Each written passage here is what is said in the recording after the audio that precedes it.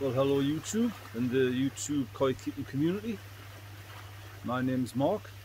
This is Irish Geordie's Koi and I'm just going to show you around my setup and I think we'll just go from there.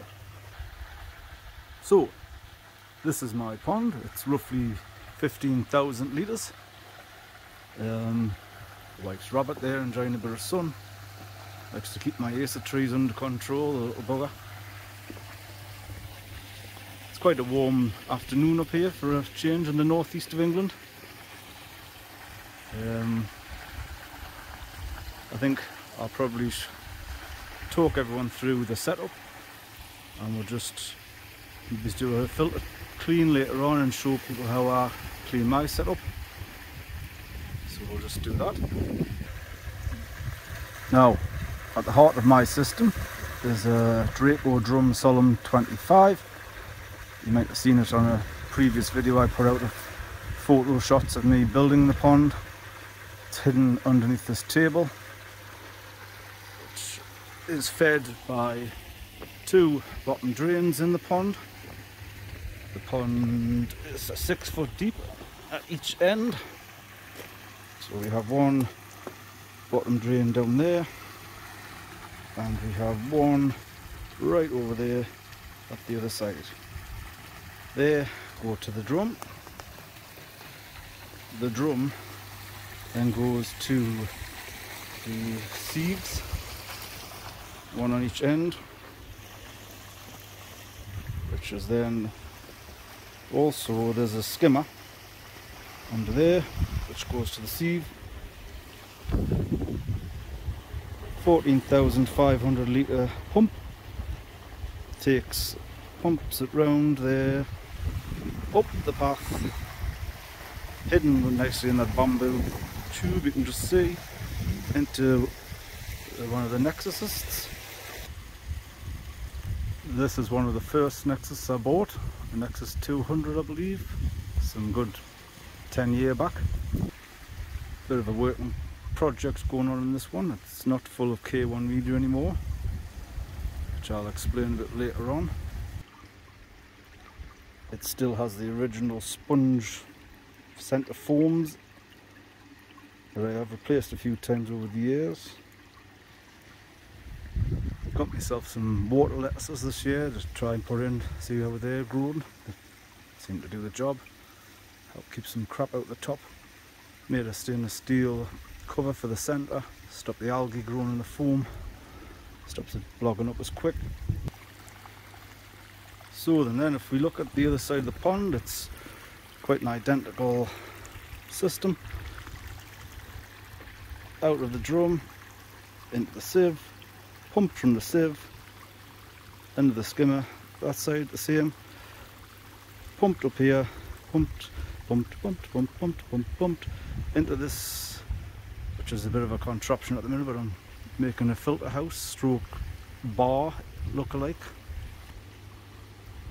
That is then pumped into the larger Nexus 300 which then leaves that Nexus by a 4 inch pipe runs around the back of this quarantine chamber tub not currently used as a quarantine chamber and gravity feeds the Nexus 200 again out of there through this big holding tank or whatever I'm going to make it into in the future uh, travels through there, 4 inch pipe out, feeds under the decking. Now underneath the seat and table there's some hatches here. I'm not going to lift them up today, we'll do that another time. There's a, a sort of DIY Bakki River system. That's both Nexuses on both sides end up feeding into goes on through the through the three chambers that's in there and returns to the pond by the waterfall. Now, uh, in the waterfall, built we have a submergible UV, and I have sort of tanked the sides of the hot spots of it with some stainless steel. The plastic should be good enough, but there's no point in taking the chance with it.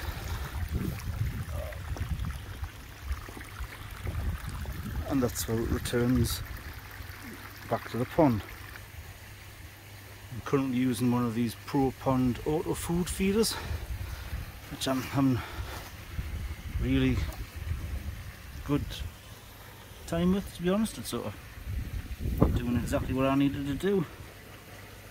Pretty cold up here, we are down to 11.2 now. Fish are really backing off the food. Now you see, next to each skimmer inlet I have an air stone, which is on a timer. Comes on just five minutes before the feeder goes off. Gives the fish a heads up, normally something's about to happen for them. Slowly learning that process. This is the timer switch box which controls the air in front of the skimmers and my other pumps, filter. And the light I have around the pond is in those one of those feeds. So that all works really well, happy with that.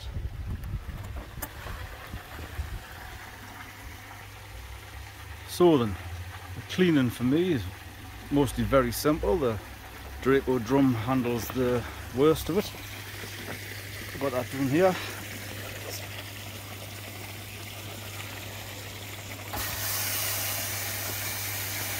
goes straight to waste. So if you don't know how a drum works by now, lifesaver for me, not being home much through the week working away, tends to look after itself. Once a week I'll dump the Nexus. I don't do any constant trickle in it is literally just what comes out the nexus gets replaced and that's the water change. For me to do that it's quite simple. Just go to the control switch. I'll knock off number three which is the pump to the nexus on the right hand side. Take the cover off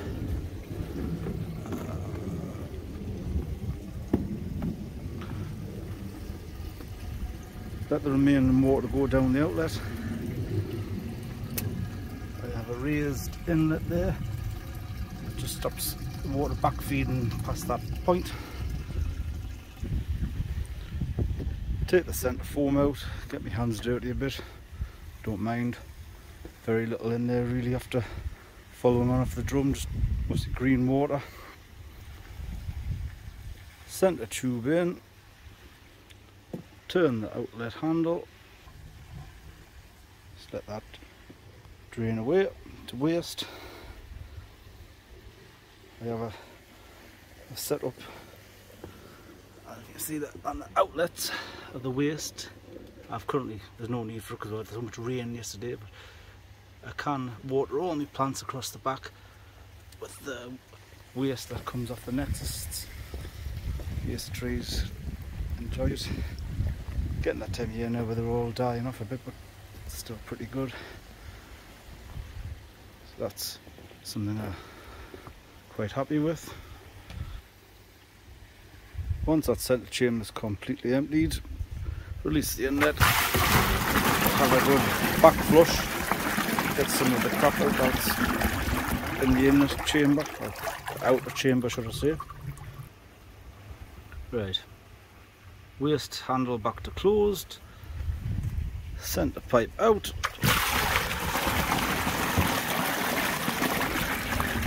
Just let the remaining water come out and equalise the chambers.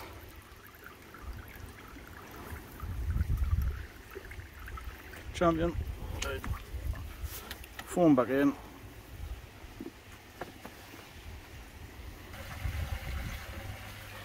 pump back on.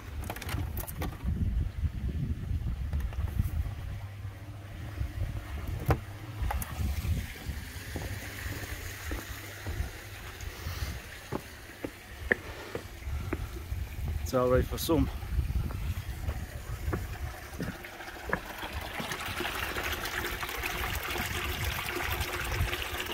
That'll fill up. Back to the waterfall. I'll go and do exactly the same on the other side. So, oh, pump one off.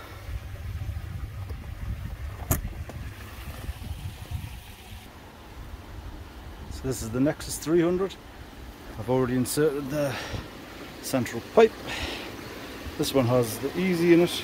Of the old K1 media, haven't felt the need to go to the new, smaller K1 micro.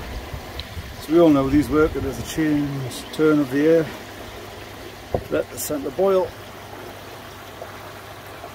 Give it a minute to start turning over.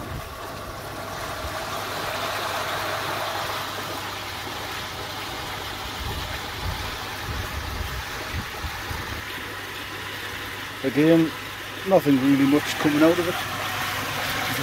Wouldn't expect coming on after the drum filter. These old Nexuses really just act as new bio chambers. I had them, paid a lot of money for them.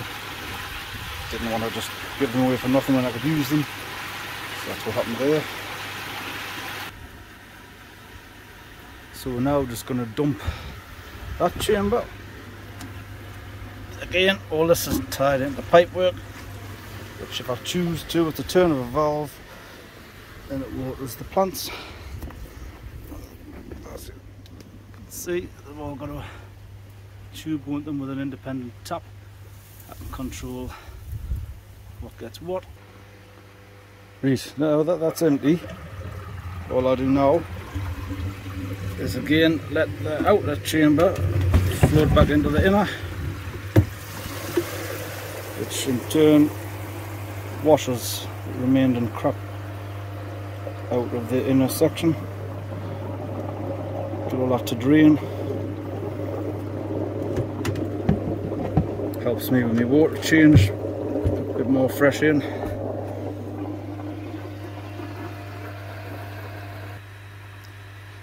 Take that back out.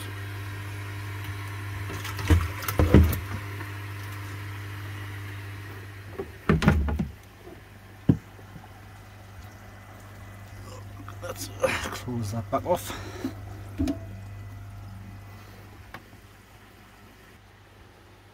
Now remember this Nexus purely feeds the smaller one just via gravity.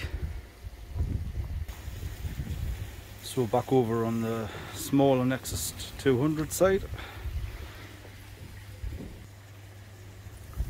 Lid off.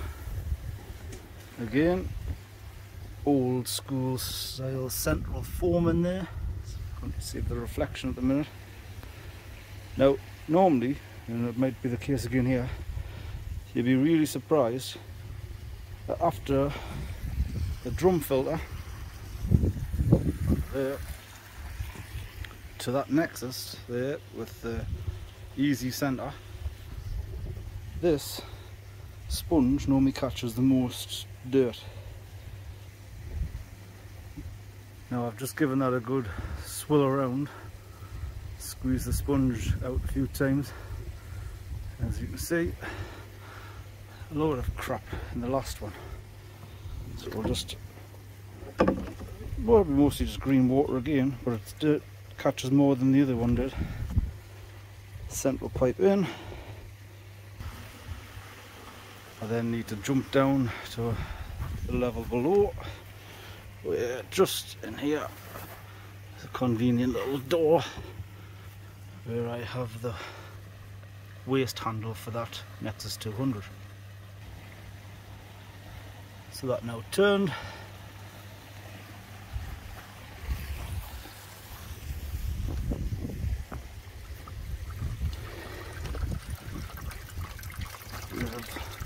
The worst out there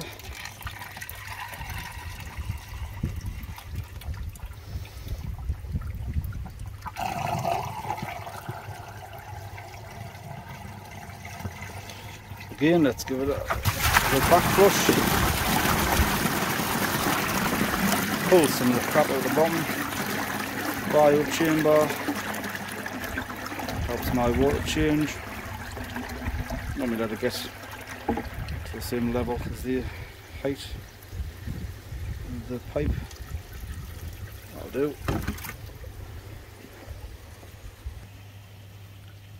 Drainage back to off. Closed. Then we have just centre pipe remove. Old style foam straight back in.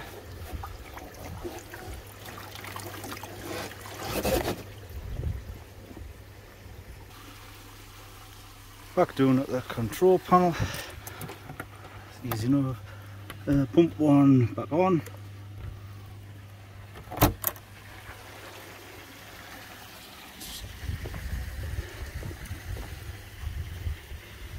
tuber not scared of out just stick that lid back on and sorted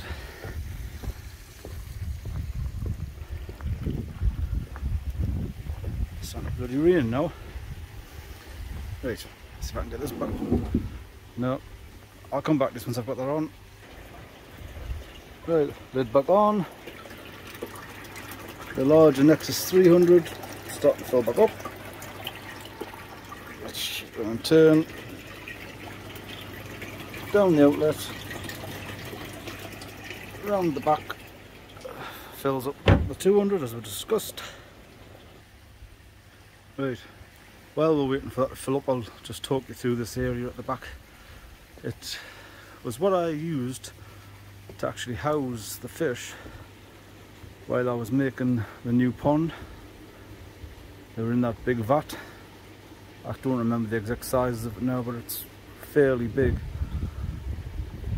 It was filtered while the fish were in there by the 300 and the 200 So plenty filtration for the size of the vat.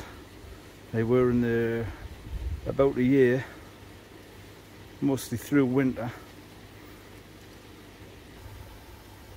Now you can't see it, but in between those two black pipes, there's a four inch ball valve. If I close, it's currently closed. If I open it, water leaves the 300 and directly goes the route back under the decking, through the Bakki River, through the waterfall and back.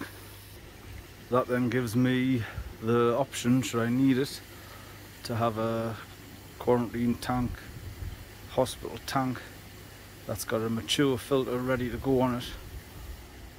I just need to put another pump in, feed this 200 independently and that'll always be good to go the other options is like you've seen on the YouTubers where they use a bog filter style. I've got plants in here. I did I think about putting a big oh what do you call them again? Bakki shower on the in between the two. Just options. Love me options. Also the options I want is not really options the wrong word but the look I want is an enclosed filter house during the winter so I'll be getting some polycarbonate sheets which will go on the roof. And insulate around the back fences. Already got some glass in there. What you haven't seen probably yet is that support is just pinned in so it swings up. That roof lowers down and actually makes it a very small insulated chamber once it's finished during the winter months. I'll show you a picture of that soon. But like I say, during the summer months I wanted to disguise the filters and look like a bit of a garden bar area. And I'll get some stools put in front of that sleeper there. So aye, there, like I was saying before, the roof folded down. Eventually that'll get some polycarb in the roof and some insulation in the other parts. And that'll be to stop the wind chill and etc for the winter. Uh, brings us onto the skimmers. You can see one on each end, one over there. So underneath one of the slabs gives us access to the skimmer, also access to the 4 inch rodding point which is comes straight directly up. You see off there the bottom drain is just underneath that old fish. Couldn't tell you what type it is, it's about 25 year old that fish. Never grew. So, rodding point, designed if I need hide the wet back down there, pull out some blockage, nice clean run straight to the drain. The skimmer into the Ultrasieve 3 I believe these ones are. Again, one each side. There. Currently not working because the water level is low in the pond off the Nexus dumps we've just done. Which brings us nicely onto our next point of just topping the pond back up. Oh, said hose pipe. Probably get it all in a knot, as usual. Right, so that nicely nipped in between a couple of pond ed edging stones. I'll just show you what happens here. Build a nice little box stop the insulated, stop obviously the frost knocking up because one is for me top up, one is what feeds the Draco drums wash. So we really don't want that icing up. Down the pipe in there uh, into our dechlorinator setup. So through the big blue then through the three stage. Just connect that on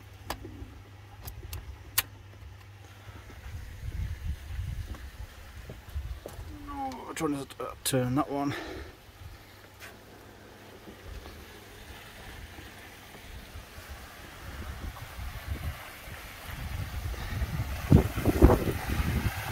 And we let our top back up. Well I hope you've all enjoyed this walk over, or walk through should I say, of my pond. It's really just to put the pond out there so when I talk to people on lives or YouTube comments and refer to my pond. They have a bit of an understanding of what I'm talking about. So looking forward to getting to know you all better the YouTube community. And I think that's it for this video. Thanks. See you next time